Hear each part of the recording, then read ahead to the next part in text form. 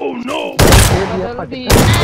मैं और OP villain बाकी बंदे आ रहे हैं।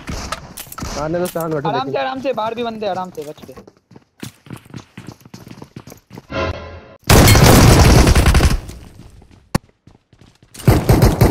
एक और है। सामने। अरे यार ओपी हो यार। आर यू तुम मैड तुम पे हमको पूरा विश्वास है देख लो। इतना विश्वास है ना। मारा है शॉटगन घुस के। बहुत बढ़िया मारी Yeah. हाँ। बहुत अच्छा है बहुत अच्छा। लो लो? लो। वो देखो हमको join कर लो। चलो पुष्पी। हमको ज्वाइन कर लो। मैं क्या बोल रहा हूँ? मैं सैलरी भी दूँगा क्या बोलते हो? भोसड़ी के खुद के पास चिप्स का एक पैसा ना है सैलरी दे। हैं